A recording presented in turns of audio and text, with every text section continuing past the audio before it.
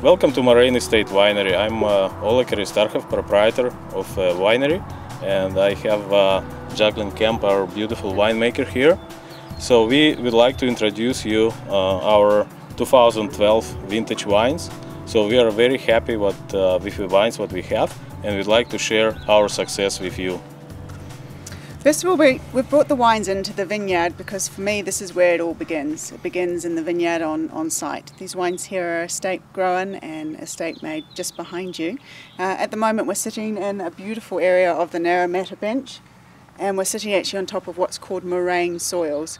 Moraine soils is where the name comes from and the soils are based pretty much from glacial formation and it's a mixture of, of silt and soil and rock. So we're just sitting on the moment at the moment on these beautiful soils which, which created these wines.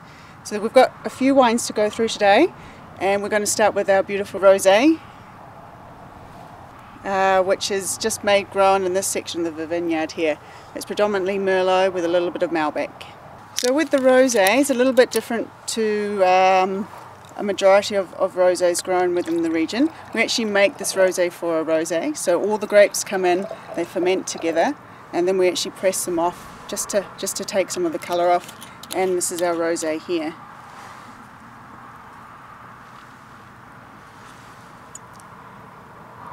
So when looking at the wine, especially at the moment, we're getting a lot of rhubarb and cotton candy. And what are you picking up, Oleg? Some strawberry. Some strawberries oh, as well? yeah. Now with the texture, it's a little bit fuller in the mouth. It is just slightly off dry. So it's a great wine to pair with food. Any sort of just relaxing on the deck, uh, eating maybe blue cheeses and figs um, with some really good crackers. And this wine just sits really nicely with that. So the next wine we would like to introduce is uh, Gewürztraminer and it's my favorite wine uh, which is go ahead with uh, Asian food or spicy food. This is new for us here at Moraine in the 2012 vintage. Uh, there's a little bit of skin contact, so what that means is we bring the grapes in from the vineyard, they stay with their skins for a little bit just to pick up a little bit of the pink colour, and then what we're looking for here is, is pretty much a nice dry style Gewurz, which is a little bit different again for the region, uh, and we really want to show the aromatics of this wine. So what we're picking up here is, oh, I'm getting a ton of lychee and sort of pears and a little bit of citrus and it finishes really really dry. How are you finding this wine, Oleg? I think it's very fragrant. It's uh, it's a lot of rose, mm. rose uh, aromas here, and it uh, finishes uh, uh, kind of with spicy bite. What what I actually like here.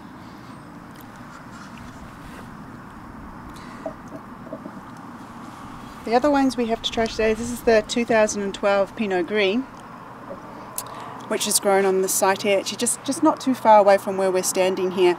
The good thing about this Pinot Gris is it's actually been picked in two pickings. There's an early picking to preserve the aromatics of this wine, and then later we brought in another section of the fruit just to build the body and texture of the wine.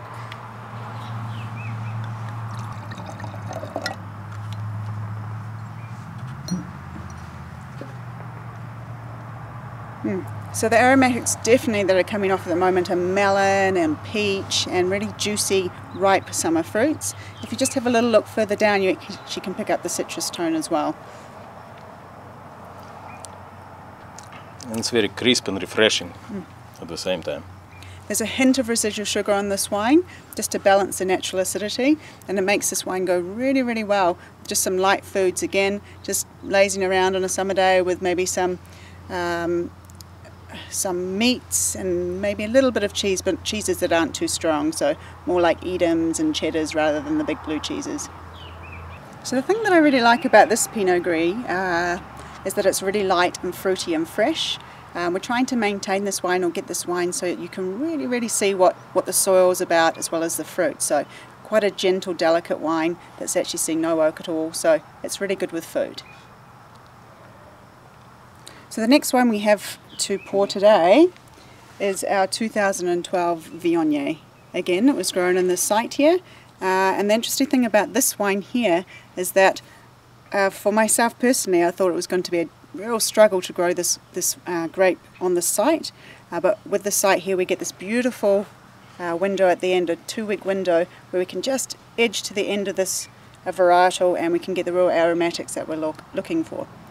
Viognier is our uh, one of our signature wines here and it's uh, very popular among the people who come here, uh, sit in our picnic area and enjoy the wine.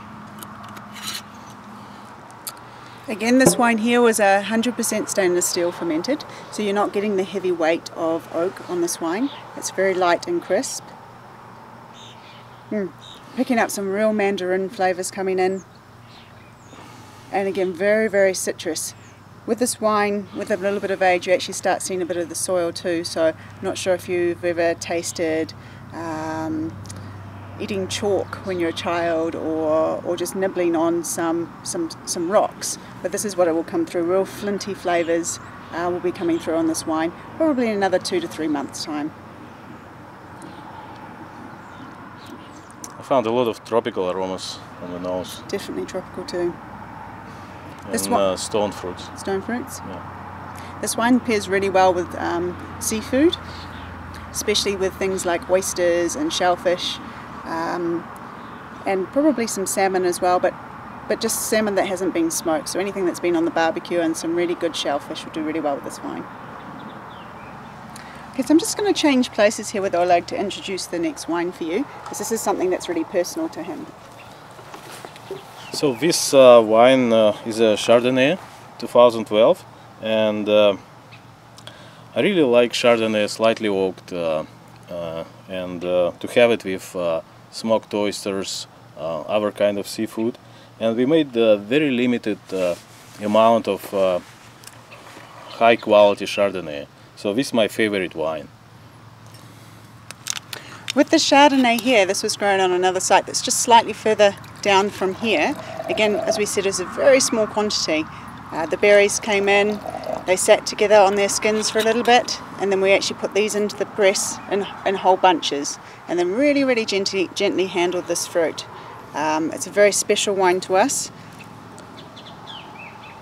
and it's just been released now. It's got beautiful, beautiful creaminess to it. Again, peaches and citrus, which is pretty common from this area, and with a little bit of age, you actually start to see the texture of the wine a bit more. It will come together a little bit more. So this wine's completely dry. Has a hint of oak, and the oak's really being used here just to build the weight of the, the wine rather than to overpower the wine. So again, like Oleg said, he really likes a Chardonnay which you can just sit down and enjoy with some beautiful seafoods. And this is what our 2012 Chardonnay is all about. And it uh, reflects uh, our vineyard, what we call Sophia, which is uh, my uh, daughter name. So what you can say about soils there or anything? Well, with again, it's got a real flintiness to it, to the wine, and it's actually showing a bit, little bit of silkiness at this stage as well. It's a little young to be showing too much of the soil, but again, give it a couple of years and you'll really start to see what the site's really about. It's very popular again among the buyers in the tasting room here, and uh, we're extremely happy with this wine. The next wine I'd like to introduce it's a Bordeaux blend. We call it Red Mountain. So as you know there is a Red Mountain uh, ski resort in uh, British Columbia and uh, we would like to, in our branding and the naming, we would like to reflect uh, the local geography spots uh, like national parks, ski resorts. So we'd like to be close to the British Columbia and uh, celebrate the place here.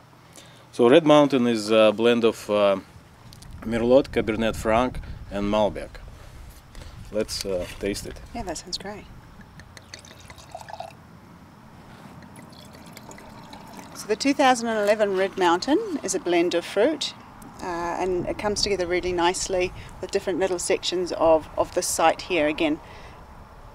We're getting tons of plums and big red fruits, dark, dark blackberries when they're just about ready to be picked for like blackberry pie.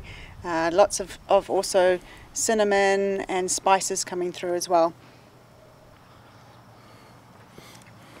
So this wine here will age easily for the next seven to ten years and will go really really well with anything that's really heavy as far as food. So we're looking at more like steaks and and anything that is stewy and gamey meats as well. Really good with things like rabbit and wild venison.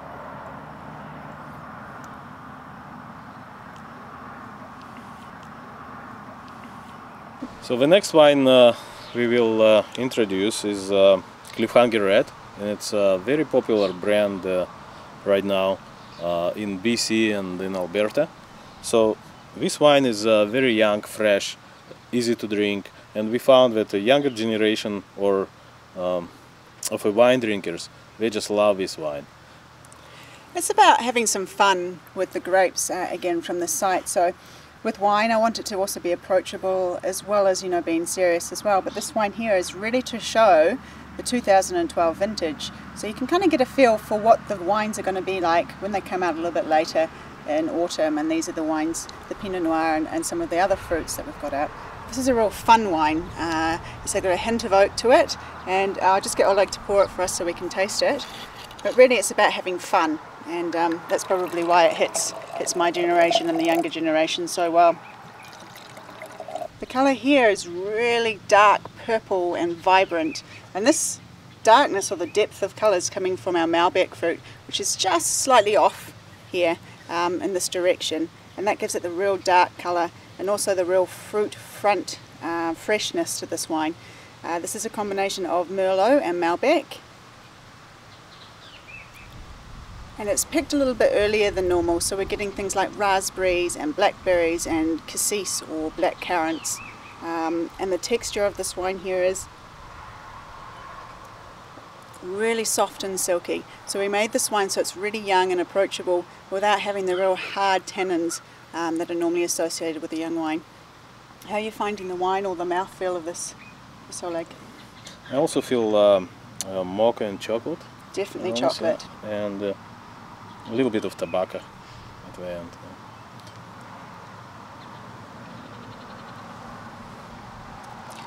With this wine we'd like you to just enjoy it with us. It's a, it's a snapshot of, of what we're about this season. It's also about trying to bring people together and sit down and actually enjoy some wine, maybe, you know, and some sun on the patio here. And I would recommend it to drink it even slightly chilled. Slightly chilled definitely yeah. really reflects again the aromatics of the wine. Yeah. So we're going to open now the Late Harvest Merlot, which is again is a 2012, but only just 2012. It was picked just before Christmas time, and it was picked in a style of late harvest rather than ice wine because we really want to preserve the acidity of the wine. Again, uh, so it can go quite nicely with foods. A little bit more like dried figs and apricots, um, that sort of thing. So at Christmas time you can sit down maybe after your big meal and just enjoy some of the nuts and dried fruits of the season.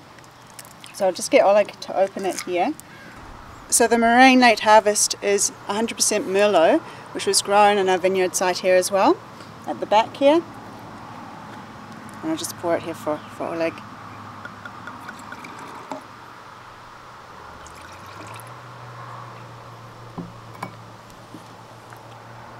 Mm, it's hugely vibrant in fruit that's really what this late harvest is about. It's about fruit and acid and sugar, just to balance all those things out and so you can really enjoy it as a dessert wine or a wine that you can again put with quite some quite strong cheeses or dried fruits at the end of a meal.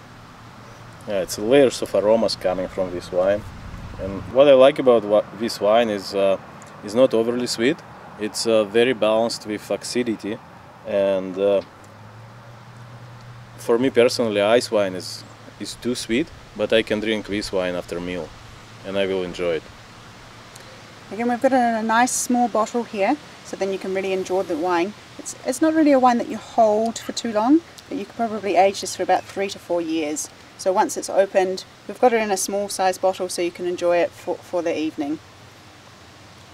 And then nice with chocolate as well, I guess. Yeah. Mm. Dark, dark. Uh, some dark chocolate, even yeah. with some chocolate with coffee yeah. some dark coffee. Mm-hmm. It picks up all of those mm-hmm. uh, aromas of chocolate and coffee because it's a red style grape. It's actually got the weight, it can hold, hold the stronger flavours like again blue cheese, anything that's dried fruit and chocolates and definitely coffee.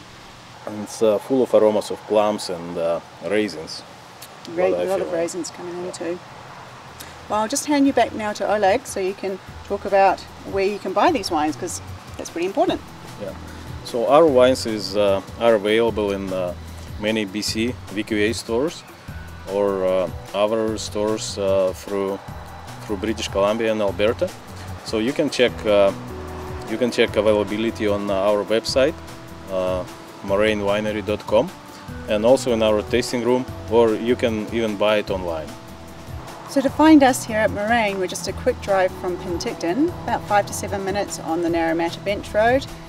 And you'll come see our signs, they'll be on the road. And we've got a lovely little tasting room, which you can actually enjoy having a little picnic afterwards as well with your wine. So please come in, we'd love to see you because we love talking about what we do here.